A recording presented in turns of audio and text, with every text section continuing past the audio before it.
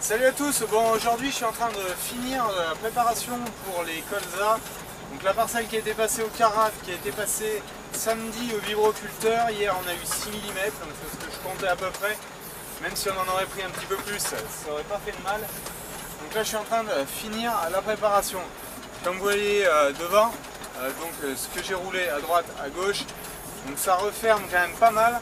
Et on finit de casser les modes derrière moi, tournez la caméra, vous verrez. Donc ça, casse pas mal les, quelques modes qui étaient un petit peu plus grosses. Ça fait pas du mauvais boulot. Le but c'est que avec ça je puisse semer un petit peu plus facilement avec le 750 dessus. Il roulera mieux, c'est plus blanc. Et qu'avec un minimum d'eau, la terre est bien fermée, ça puisse faire germer les colzas. Donc on va voir tout ça. Euh, l'autre avantage c'est qu'on fait aussi griller un petit peu des larves de euh, limaces. Euh, donc pour cette parcelle du moins je pense que je même sans anti-limaces carrément. On verra ce que ça donne. Allez, je vais aller vous faire voir dehors ce que ça donne. Et là on est dans le contour, c'est un petit peu plus gros en mode. Mais le but c'était vraiment de refermer et vous voyez du moment où c'est passé, et bien alors là on a de la terre qui est beaucoup plus fine. Les quelques agrégats sont tout petits donc maintenant si ça fait 5-10 euh, mm euh, après le semis, je pense que ça sera pas mal. donc je suis avec le 6810, je ne l'ai pas jumelé. Pour la simple et bonne raison que j'avais que cette parcelle à faire. J'en avais que là pour l'après-midi en gros.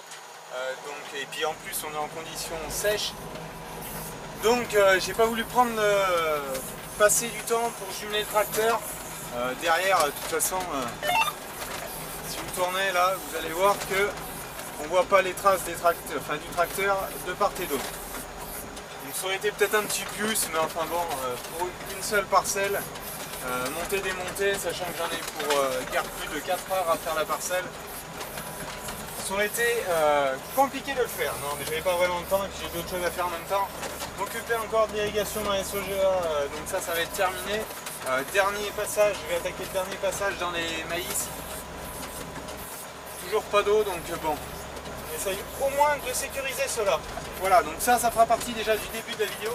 De dimanche matin, le semis, j'espère le réaliser dans la semaine, mais c'est pas garanti non plus. niveau travail que j'ai à faire, j'ai aussi un petit peu de deux traitements à faire euh, donc euh, euh, post-récolte sur des chaumes pour calmer les liserons, comme j'avais dit dans les vidéos moisson. Voilà, allez, petite vidéo qui change un peu de l'ordinaire. J'ai remis en route la caméra 360 comme vous voyez.